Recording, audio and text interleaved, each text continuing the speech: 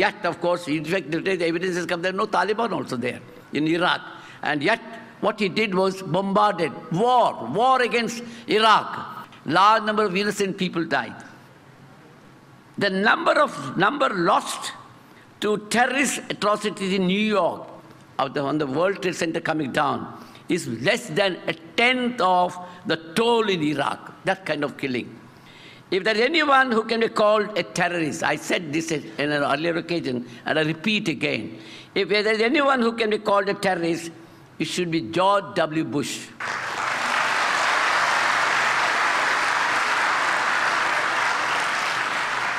He has declared a war. And it is not a war according to law. It is an unjust war and not according to international law. And everyone has a right to protest against that war. If anyone could protest, anyone could condemn that kind of war. Be a Hindu, Christian, Muslim, fundamentalist, or otherwise. You have a right to protest. Just because we protest and condemn, we cannot be considered as terrorists. One of the most difficult problems is to define terrorism. See, we talk of terrorists, terrorists, terrorists. Where is the definition of terrorism? How do you define terrorism? Tada did not define terrorism. POTA did not define terrorism. Only terrorist acts were defined. And those acts could be even under the Indian Penal Code. They're not different. Murder, killing, dacoity, using guns, all are under the ordinary law. But you can, the, at the discretion of the police, they can use it as an act of terrorism under Tada law. If it could be broadly agreed that the deliberate killing of innocent civilians, you find this kind of def definition in the, in the dictionary, if it could be agreed that the deliberate killing of innocent civilians is a central element in most definitions of terrorism, then in that event, the worst terrorists of the last century should be the USA for bombings of Hiroshima and Nagasaki. where suffering of large number of innocent people has never been healed even after six decades. Just killed lakhs of people in these two places. So also, the worst violators of the 21st century as it began are the USA and Great Britain. There's not much difference between George W. Bush and Lashkar-e-Taiba. Both believe in killing. Killing helps them. Killing keeps alive the tension in this region. That is what they want. That is their business.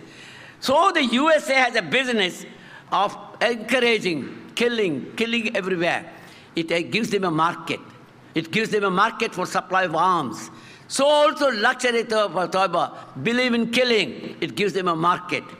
So while both seek to wield power, one of course with the superior power of USA, and the other of course trying to build up his own uh, other category of power.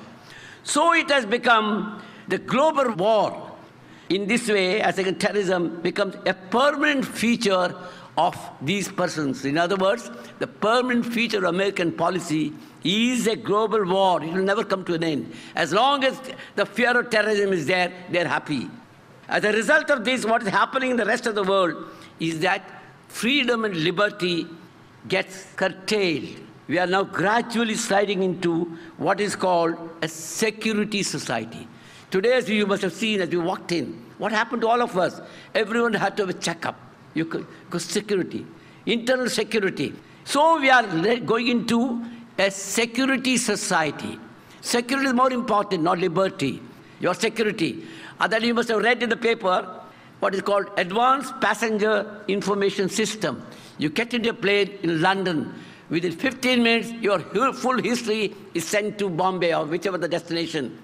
When you land there, the police are there. Police know your full history. You're gone to Dubai half a dozen times. Okay, that is enough. They could do anything they like. For example, what happened in uh, Amsterdam, you see, you all know. They saw some people, people behaving in the, in the plane, people behaving in a very suspicious way. Their appearance, their dress, their speaking language, looking like Arabs, looking at watch frequently, bearded Muslims, and uh, burqa clad women. Okay, all these are suspicious, suspicious character, this kind of thing. So security becomes more important. And this is a kind of policing that goes on. And as a result of that, we have uh, all sorts of things that go on in this country, everywhere, because under security society, the police can do anything they like. Other day, you must have read that Antop Hill. Somebody was found in a building which was supposed to have been neglected. Nobody was there. What happened was, the police suddenly found he was a Pakistani, they said. One doesn't know. They went and shot him, killed him. Nobody, no proof, nothing of the kind. So because the of security, the society accepted. Society did not protest. Who was killed? Nobody knows. So the police again believe in this guy because that helps them. They, they don't have to prove a case. They can detain anyone, keep him inside the police station days together without a charge, without anything, in the name of investigation. In fact, I, the day I went to the Minority Commission. What happened was people are just being rounded up and taken to taken to the police station. What is the law? If you are taken to the police station, if you are a witness, of course, your statement has to be recorded, and then you have to go home. If you are not a witness, you are a suspect, then your name should be there somewhere. Your name should be in the FIR, or they should have advanced information. But they just can't take you to the police station say, you are a suspect, you don't know anything about me but you are a suspect. You keep me, you torture me inside. You keep me for days together. No station diary entry, no report. And one fine day, you handcuff that man with another unknown person who's supposed to come from Pakistan. And they say, you are connected with this two together. This is the kind of system. So in the name of security today, police can do whatever they like. Anyone can be killed in an encounter, that's and no investigation. In the name of security, Every movement of yours can be, can be tracked. Your bank accounts, for example, your transactions all come under the, under the check. In the name of security, see, the other day the rule has come. In Bombay city, you can't sell or buy property. You can't rent out your house. You want to rent out, you have to go and inform, inform uh, the police officer. Uh, so the police have to be informed. So liberty is becoming a casualty. You are literally going to be enslaved. Soon, if this kind is encouraged, ultimately, you slowly, slowly, your rights are being taken away. Your liberty is being taken away. You are enslaved. This is a kind of thing. And I tell you, this is not something new. When Tada was introduced, also it introduced for the sake of security.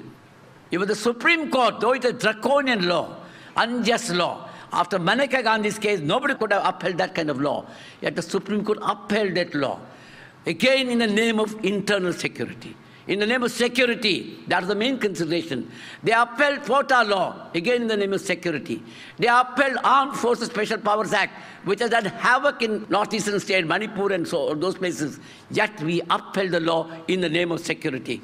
All our principles of uh, the liberal society, justice, social, economic, everything, all those are forgotten. This is a kind of approach.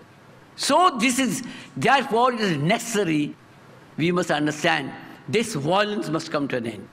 So what is the solution? Solution is not arms. Solution is not violence. Violence against me from the people or from the state. No. What is required is that why should there be so much violence in the society? Our uh, approach should be why there is this kind of terrorism. What is the reason for that? That is the thing the government must understand. Not arms, not kind of this kind of harsh law. I tell you, there is so much of injustice in the society. Go to any part of India, anywhere. So, so much of injustice. The rich and the powerful can get away with impunity. Can, nothing happens to them. America can invade any country, nothing happens to them internationally. Within India, the rich and powerful are not bothered. They don't go in for voting, but they get whatever they want. But the poor, what happens to the poor? The marginalized. Huge projects, for example. We have built huge projects. I, can, I got details of statistics if you want, I can give them. What happens to them? Narmada Dam is the simplest example. Came up, came up. What happened to the people who are affected? Large number of tribals, what happened to them? They had lost their land.